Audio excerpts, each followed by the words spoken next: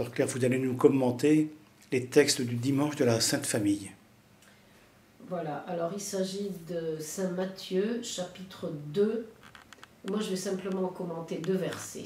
Je vais commenter le verset 13 et le verset 23.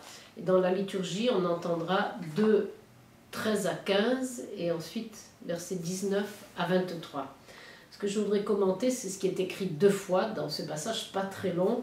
C'est comme il est écrit ou alors pour que s'accomplissent les Écritures. On l'a au verset 13 où il est dit qu'il resta là jusqu'à la mort d'Hérode pour que s'accomplisse cet oracle prophétique du Seigneur d'Égypte, j'ai appelé mon fils. Ça, c'est Matthieu 2, 13. Et Matthieu 2, 23, c'est la fin du texte de ce dimanche. Il va s'établir dans une ville appelée Nazareth pour que s'accomplisse l'oracle des prophètes. Il sera appelé Nazoréen ou Nazaréen. Voilà, je voudrais simplement rappeler que Jésus qui accomplit les Écritures, c'est une constante dans le Nouveau Testament, que Jésus lui-même l'a dit d'une manière très claire dans l'évangile de Saint Matthieu au chapitre 5 au verset 17. N'allez pas croire que je sois venu abolir la loi ou les prophètes, je ne suis pas venu abolir, mais accomplir. Accomplir, ça ne veut pas dire faire ou mettre en œuvre, ça veut dire donner un sens plénier l'Ancien Testament a beaucoup de sens, évidemment, pour nos frères juifs et pour nous, mais le sens parfait ne peut lui être donné qu'à la lumière de la personne de Jésus, Messie. A du mal à comprendre la totalité, la plénitude de l'Ancien Testament sans Jésus Messie. Je cite, mais vous irez le voir dans les Actes des Apôtres, au chapitre 9, l'histoire, au chapitre 8, l'histoire de, de l'eunuque qui revenait de Jérusalem et qui lisait Isaïe, qui n'y comprenait rien. Il a fallu que le diacre Philippe lui dise, ça parle de Jésus, et il a compris. Jésus donne un sens plénier aux Écritures. Et alors ici, c'est ce qui est dit deux fois dans le texte, dans ce dimanche de la Sainte Famille, hein, qui est le dimanche, on va dire, de l'obéissance de Saint Joseph à la volonté de Dieu, une fois encore. Hein il est dit deux fois, donc il fallait que les Écritures s'accomplissent. C'est-à-dire, il il fallait qu'on comprenne en plénitude la totalité des Écritures, et ça ne peut être donné qu'à la lumière de la vie de Jésus, Messie et Seigneur. La première citation, donc c'est au chapitre, au verset 15 du chapitre 2 de Saint Matthieu, où Joseph part en Égypte pour euh, que sa famille, pour que Jésus euh, échappe aux persécutions et aux massacres. Et puis ensuite, il va revenir pour que s'accomplissent les Écritures. D'Égypte, j'ai appelé mon fils. Alors l'Égypte, on y va beaucoup dans l'Ancien Testament. Les patriarches, Abraham est allé en Égypte. Isaac n'y est pas allé parce que le Seigneur lui a dit de ne pas y aller et Jacob est allé en Égypte. Mais l'Égypte est citée trois fois au livre de la Genèse comme un lieu de refuge contre les dangers. Abraham, c'est la famine. Genèse 12, 10, il eut une famine dans le pays et Abraham descendit en Égypte pour y séjourner car la famine pesait lourdement sur le pays. Abraham, alors Isaac s'apprêtait à en faire autant il eut une famine dans le pays, en plus de la première famine qui eut lieu du temps d'Abraham.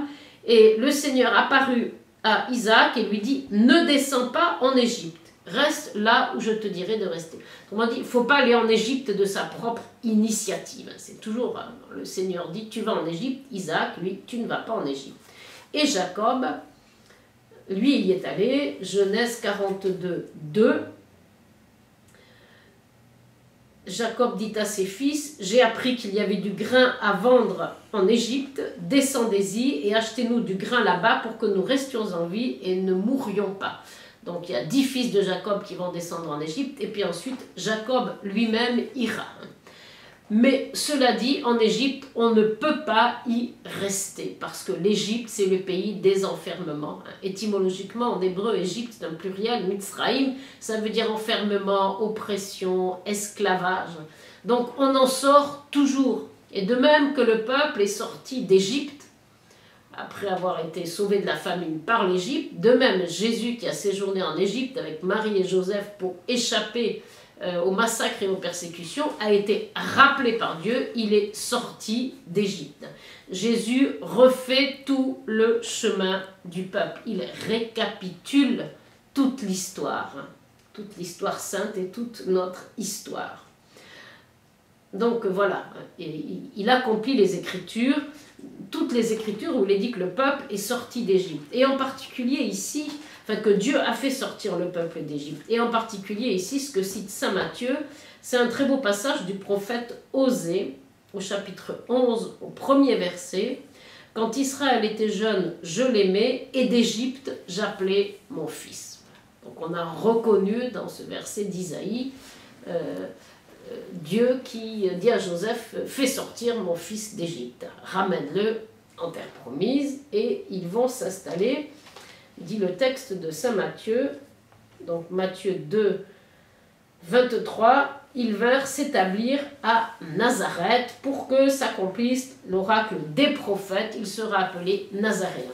Alors il n'y a aucun prophète où il y a écrit que le Messie sera appelé Nazaréen. Vous pouvez fouiller, vous ne trouverez pas. Mais par contre, euh, ce qui est vrai, c'est que quand il est dit les prophètes, c'est tous ceux qui ont parlé ou écrit au nom de Dieu. Donc ça veut dire les écritures d'une part, et ensuite Nazir, ça veut dire consacré. C'est une étymologie possible du nom Nazareth, c'est la, la, ville du consacré. Vous avez par exemple dans la Genèse, pour parler de Joseph, onzième fils de Jacob, Genèse 49, verset 26, il est dit, les bénédictions de ton Père l'ont emporté sur les bénédictions des montagnes antiques, sur les aspirations des collines éternelles, qu'elles viennent sur la tête de Joseph, sur le front du Nazir d'entre ses frères. la traduction dit consacré, l'hébreu dit Nazir. Nazir, ça veut dire consacré au milieu des autres. Donc on voit bien que Jésus appelé Nazaréen, c'est normal. Et qu'il ait grandi dans une ville qui s'appelle Nazareth, c'est normal. Autre possibilité d'étymologie de Nazareth ou de Nazaréen, c'est le début du chapitre 11 du prophète Isaïe, qu'on a lu il n'y a pas très longtemps. Un rejeton sortira de la souche de Jessé, un surgeon poussera de ses racines. Surgeon, Natsar, Nazir, ça ressemble beaucoup. Hein. Donc surgeon, rejeton, c'est encore une fois le mot Natsar qui, a, donc, qui a donné Nazareth et Nazaréen. Donc Jésus peut bien être appelé Nazaréen, puisqu'il est ce surgeon hein, qui a surgi de la racine de Jessé, puisque Jésus est fils de David. Et Saint Jérôme a écrit des très belles choses sur la question. Ensuite, autre étymologie de Natsar, Nazareth, hein, euh, c'est le verbe garder, protéger et veiller sur. Hein. Le verbe natsar, ça veut dire garder. Et les notsrim, ce sont les veilleurs dont il est question dans le prophète Jérémie, chapitre 31, verset 6.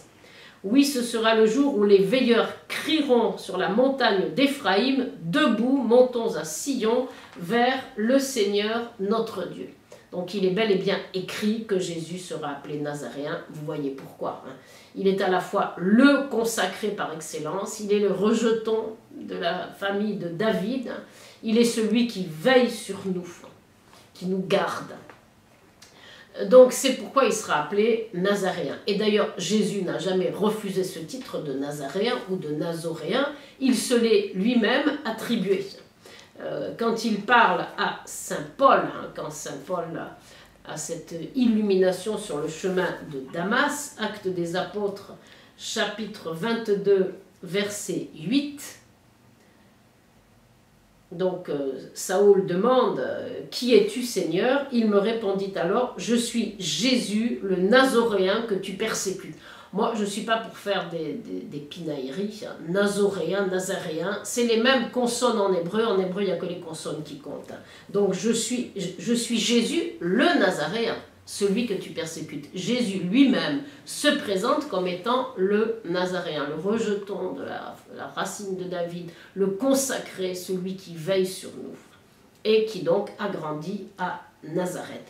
Et d'ailleurs, qu'est-ce qu'il y a écrit sur la croix du Seigneur? L'inscription sur la croix dit ceci. Euh, par exemple, Jean 19, 19, il est dit que Pilate rédigea aussi un écriteau et le fit placer sur la croix. Il y était écrit Jésus le Nazaréen, le roi des Juifs. Donc tout ça, ça a du sens. Ça veut dire que Jésus accomplit parfaitement les Écritures, qu'il est le Nazaréen. Et au début, on appelait les chrétiens les Nazaréens. Et si vous allez en Israël aujourd'hui, on nous appelle les Notsrim, ce qui veut dire les veilleurs, les consacrés, les, rejetons, ou alors euh, ceux qui viennent de Nazareth. Nazareth, la ville du consacré, là où Jésus va passer toute son enfance. Sœur Claire, merci.